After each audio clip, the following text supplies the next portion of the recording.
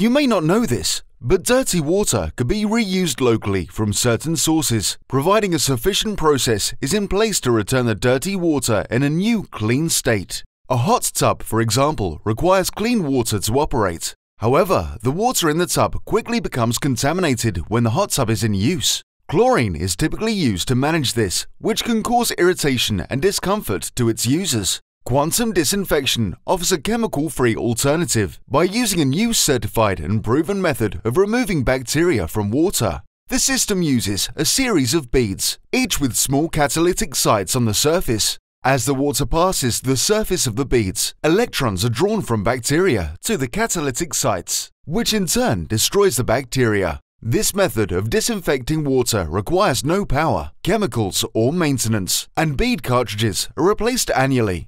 Quantum disinfection is more cost effective than UV treatment, and best of all, it is chemically free and environmentally friendly.